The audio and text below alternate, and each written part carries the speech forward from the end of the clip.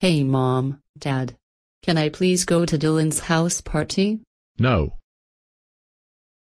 But dad. Emily, I said no. I agree with your father. I want to go to Dylan's house party. I want to go to Dylan's house party. I want to go to Dylan's house party. I want to go to Dylan's house party. Emily, you're not going to Dylan's house party and that's final. The reason why you are not going to Dylan's house party because you're grounded. Go to your room, young lady.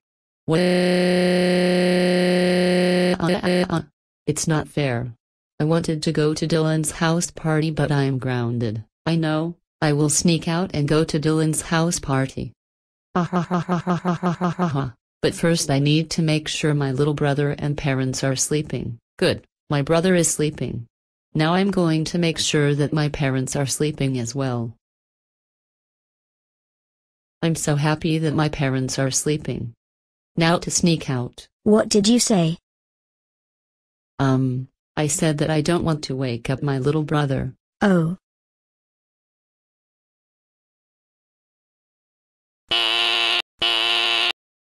I bet that's my friends. I'm so glad you can make it to my house party. We all got grounded but we sneak out. Let's get this party started.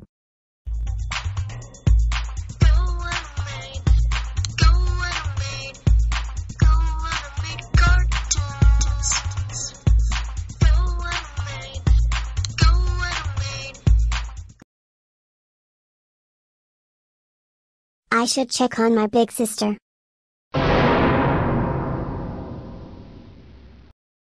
Why, uh, uh, my sister is kidnapped. Mommy, Daddy, Emily is kidnapped. Oh no.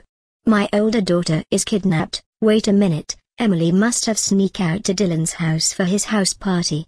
She is so much trouble when we found her. That was the best party ever. Oh crap.